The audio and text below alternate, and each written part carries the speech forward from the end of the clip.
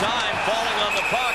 At center ice, we've got something brewing between Maroc and Marchment, but we're going to get a San Jose penalty for goaltender interference. Well, Bryan Marchment had gotten into it down by the Sharks net with, well, here we got more stuff going now. Jason Todd Smith, Harvey and Jason Smith are going to go.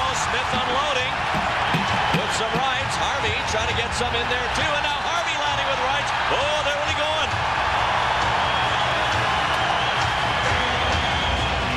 Harvey still hanging in there. Smith's helmet's off. Now they tie up a bit, but did they throw him for oh. about 15 seconds? Great job by both guys. Jason Smith's a pretty tough character.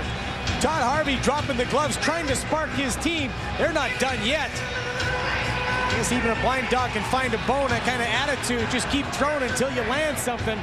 Todd Harvey gets Smith down, and then he just missed with a right hand.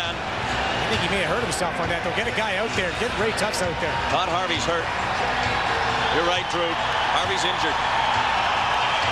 He may have landed on that shoulder awkwardly. I think I think he might have landed on his head, Randy, because when he missed the punch, he landed right on his head, and right away the Edmonton Oilers staff oh, is you're out right. there. Yeah, he's cut.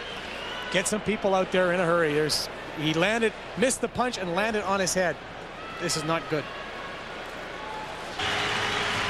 That is good. Todd Harvey being helped off the ice by Captain Owen Nolan.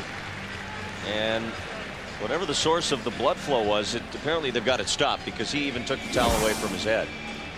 Here's the start of the fight. Jason Smith, Todd Harvey. Todd Harvey just going to say something to Salo, and Todd Harvey wastes no time.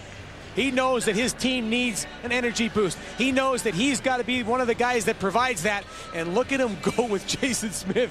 Jason Smith may be injured, uh, Randy. That's maybe why he went to the dressing room. Some great shots by both guys. Todd Harvey switching hands.